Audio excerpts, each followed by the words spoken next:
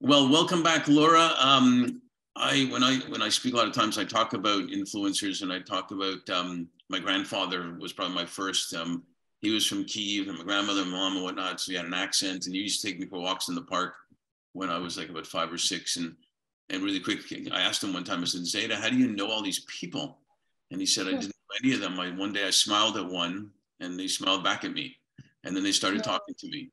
So I talked to them as well with the accent, and I'm thinking, and you know, on and on. And as a five or six year old, I kind of got it, but I got it more as I grew up, saying how brilliant and how influential a mutual influence they had on each other eh, by by by just starting with a smile. So influences can come in a second, they can come a lifetime. Can you share with us?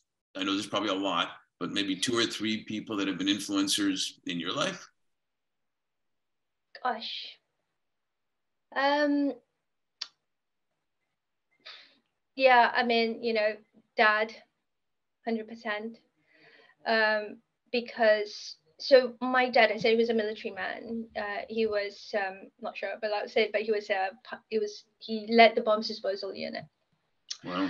Um, and he, yeah, he was a pretty incredible guy. You know, some stories that, and so, and dad's philosophy was live life because tomorrow you never know what's going to happen right? He's the so as my husband describes it he's the man who ran to into the danger while everybody else was running out because that's that was his job.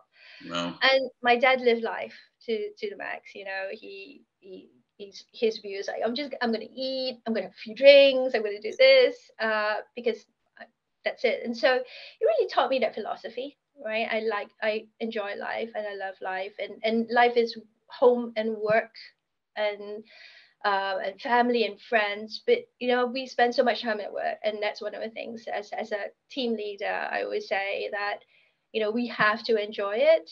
Um, and when and, and that's one of the things when i do recruit people in my team is that we're going to enjoy each other's company. Um, are you different to me. Or you know is there some different quirkiness that we can really enjoy together and learn from each other? So yeah i mean that's that's quite a big piece for me um, as well. And it's also made me quite pragmatic about things too. So it's taught me that piece.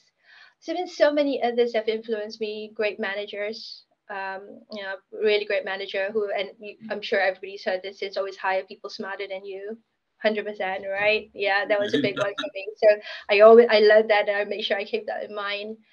Um yeah I, I guess you know it's just work related and personal related so family and friends um as well. It, i tend to be very uh focused right um on what i'm doing and uh and getting influence around styles and and the way that I grow, um, and I would kind of take that on board. And I learned through learning. I learned through listening and and parroting and and shadowing people. And so you know that part of the influence comes into me.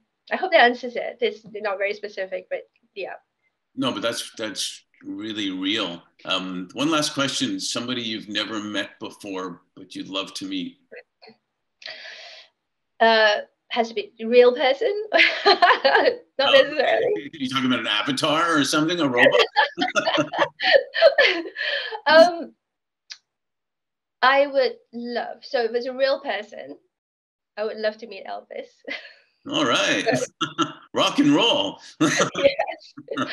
Um, if it's not a real person, and I know this sounds terrible, but for people who know me very well, they'll get it. I would love to meet Yoda because I think he's the biggest influencer, right? And leader and coach, um, and and you know, and the stand for what's right. So yeah, I'm a big Star Wars fan, obviously.